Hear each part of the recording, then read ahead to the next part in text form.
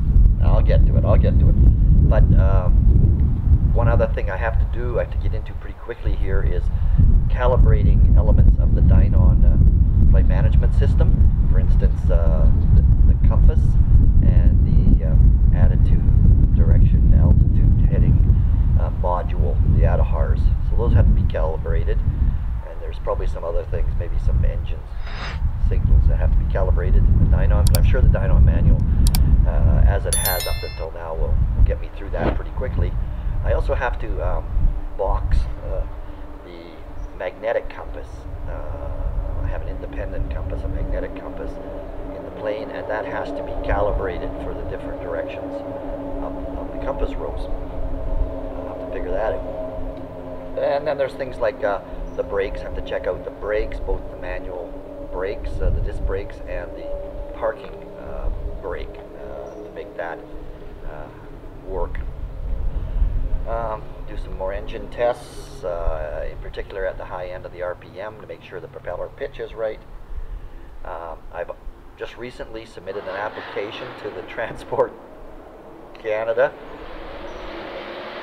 Jesus, I hope he's okay. Um, I just recently submitted my application for registration to Transport Canada. Hopefully, I'll hear back from them pretty soon, and uh, they'll provide me the registration papers for the plane, which are needed for the final inspection. And I've uh, applied uh, already and been accepted for the final inspection. I just got to find out who the inspector is going to be, communicate with him, set up an appointment for the final inspection. I already have my fuel flow report ready to give him when he comes. I have my weight and balance report ready to give him when he comes. And then there's also something about um, the plane's logbook entries. I've ordered the blank logbook from Aircraft Spruce. Unfortunately, it's on back order. Got to get that here or a reasonable facsimile of it so I can make some entries into that logbook to do with things like uh, the transponder, the pitot tube system. I have to make notations in there that these have all been checked out and, and, and verified. That's a, a document that's also required for the final inspection. Anyway, and then there's a, bunch of things like uh, cleaning up the, the plane uh, and making it all ship shape, and then getting rid of all the hangar rash marks on the fabrics. I have a repair kit coming from Aircraft Spruce, uh, so I can touch up the uh, the dope in the fabric. Okay, let's get to it. Morning, Dale.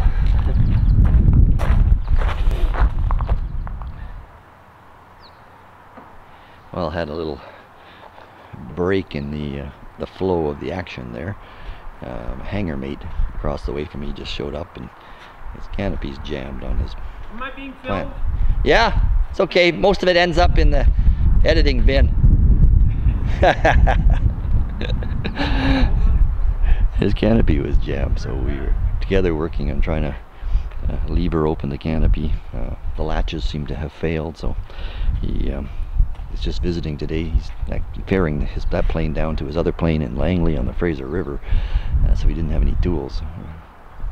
So I lent him screwdrivers and odds and ends and WD-40 and eventually we we got the canopy open and uh, he's got a, a temporary plastic bar that spans his canopy that he'll use to when he gets to Langley to keep it jammed open so it doesn't jam shut on him anyway so interlude in the flow lots of fun at the airport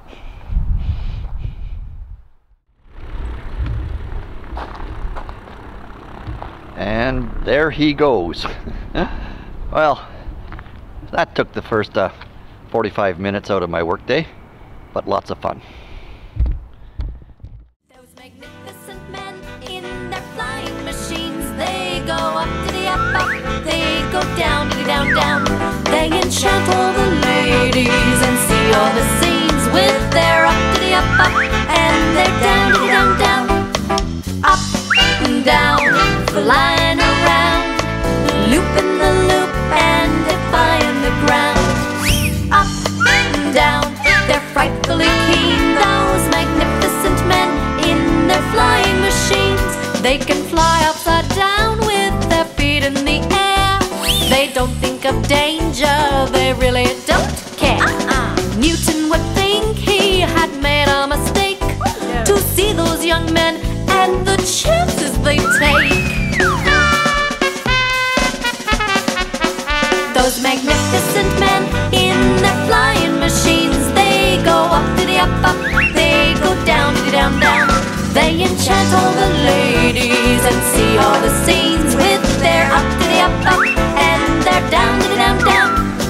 Up, down, flying around, looping the loop and defying the ground. Up, down, they're frightfully keen. Those magnificent men in their flying machines. Up, down, flying around. The spirit of Mackenzie's looking really good today. Just gave her a good soaking, fresh water, loosen up the grit and dust, and then I washed her with the sort of bleach water, all in uh, preparation for repairing some of the rips and tears in the polyfiber fabric that covers all the um, flying surfaces. You know, the 10 years of the build, she's been in and out of hangars and banged up here and there. Uh, for instance, here, a bit of a rub. You can see right through the uh, outer coating, spray coating, uh, into the actually right down to metal right here. So I'm going to have to put tape across that and then uh, the different layers of the different spray applications, which I'll, I'll brush on. But anyway, just cleaning her up and uh, fixing up all the little nicks and gouges so that she looks real good when the uh, inspector does show up, hopefully in the next month.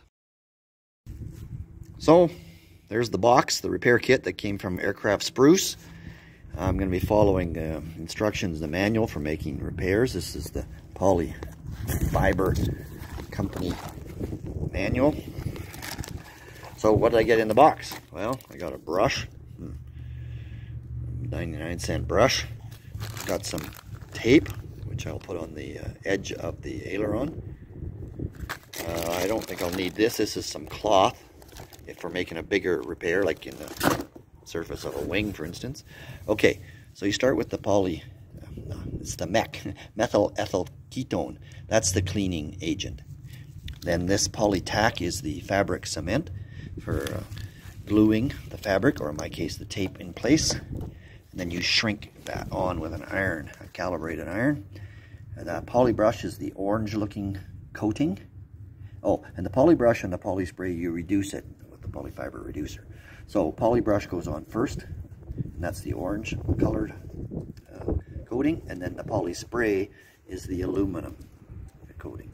Also in the uh, box, I got some emery cloth or emery what wet, wet or dry paper. Okay, and I bought myself some some gloves. Okay, let's give her a try. Okay, so there's the the tape in place, held in with the Poly-Tak glue. I'll just let that dry and then put on, well, I guess I gotta iron it. I'm actually not sure if I'm supposed to iron just the tape, but it won't hurt to put 250 degrees of heat on it, smooth it out, before I put on the orange colored poly brush and then the silver colored poly spray. There's, there's my handy dandy little iron for heat shrinking the tape.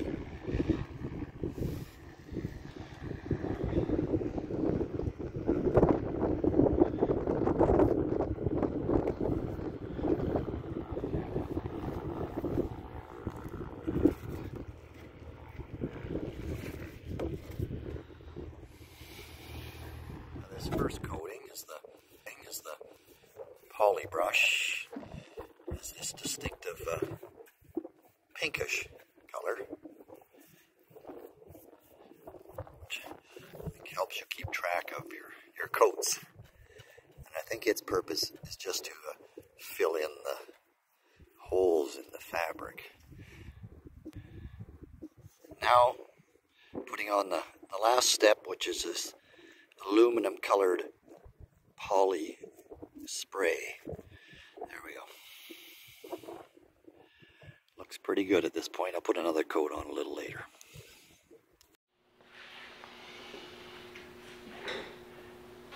So where am I in getting this 10 year build completed and getting the uh, Spirit of Mackenzie, which is still just a bloody lo- lawn ornament, into an actual uh, flying machine.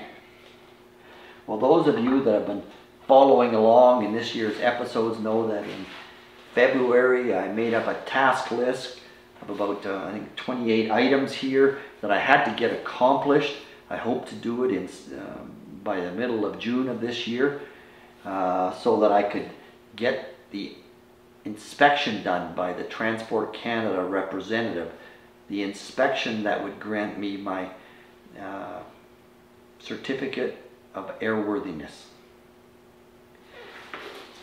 And I estimated that I could spare four hours a week um, to get these tasks accomplished. And I estimated how long each of the 28 tasks would take. And uh, that came out to about 80 hours. That meant I should have been finished in about the middle of June. So where am I now? Well, almost all the tasks um, have been accomplished. I think there's five left to go. Um, more importantly, though, perhaps, is did I put in the time I needed to do uh, to get these these jobs done? And what I've been doing is tracking my hours as I've been doing for the whole 10 years. I, like I, I've been tracking my hours every hour that I've had hands-on tools uh, building this plane over the last 10 years and specifically over the last six months in this year. Uh, I've been charting how many hours a week I put in knowing I had to put in 80 hours to get these tasks done. Estimated 80 hours. Well you can see on the chart that for the first couple of months uh, I did really good. The gray line is the cumulative estimated hours and the yellow line is the actual hours I put in. And you can see they pretty much match each other for the first couple of months. And then my yellow line, my actual time spent on the build fell off. And that's because, well, the weather wasn't so good, which is a real demotivating factor of working in an outdoor hangar. But probably more importantly, I got uh, nailed with some um, asthma attacks. I ended up in the hospital emergency ward a couple of times in uh, in May and uh, early June, and that obviously hit me quite hard and set me back on my heels. So I didn't put much time in. But once I got through this asthma thing and got it under control, and the weather turned to the to the good, I put in a lot of time, and I by the uh, let's see what I got here. By the end of June, I had got my 80 hours in, um, but unfortunately with a few tasks left to go, which is not unusual when you're trying to estimate a job how long it'll take. So anyway, I've uh, got quite a bit done. What's left to be done is uh, getting the bloody radio operational, the transponder, which shouldn't be uh, as much of a problem, get that operational. Certainly once I figure out the radio, the transponder should be easy. Uh, making the ELT operational, that should happen very quickly. It's basically a self-contained package. I've got to calibrate the magnetic compass. The On the dashboard of the plane, there is a steampunk style uh, magnetic compass. I got to calibrate that and at the same time calibrate the compass that's in the Dynon EFIS system and that should be relatively easy to do uh, given that the Dynon manual is so good and just sort of steps you through it. It may not be the final calibration but it'll certainly be a calibration good enough uh, to pass the inspection and uh, to make a bloody uh, warning light go out on the Dynon that it's not calibrated. Got a few miscellaneous tasks. These just keep cropping up, but there's nothing significant left now. And then I got to run up the engine again, which I've kind of been doing uh, every now and again anyway, run it up and make sure that the uh, that it runs uh, at a good idle speed, 1800 RPM, that it at 5800 RPM, the max RPM, the takeoff RPM, that the prop pitch is right, and uh, then taxi around the airport a little bit and test the brakes and check out all the different systems. And that and that's it. not not a lot. There's, there's four or five tasks left to do.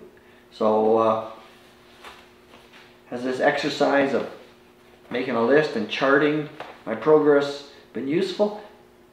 Well, yeah, it has. It's made me constantly aware of how much I've got left to do, given me a feeling of accomplishment when I've got things stroked off the list, and, and that's important because you got to keep your motivation up on these, on this sort of a thing, and it makes me aware of what's left to be done, and um, and it also motivates me when I see that I'm not putting in the time that I need to put in to get this job done. It's a bit of a, a kick in the arse to get going, get something accomplished. Otherwise, it's just going to drag on and on. And um, I'm really happy where I am right now. Um, I expect to get my registration papers any day now. I expect to uh, set the appointment for the Transport Canada inspector to come any day now. And uh, things are looking good.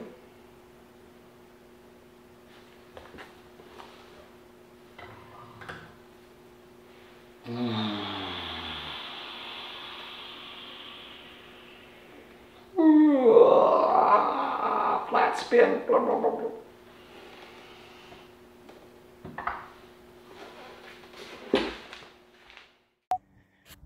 Today Elaine's working on the fit and finish, making sure all the carpet is properly secured.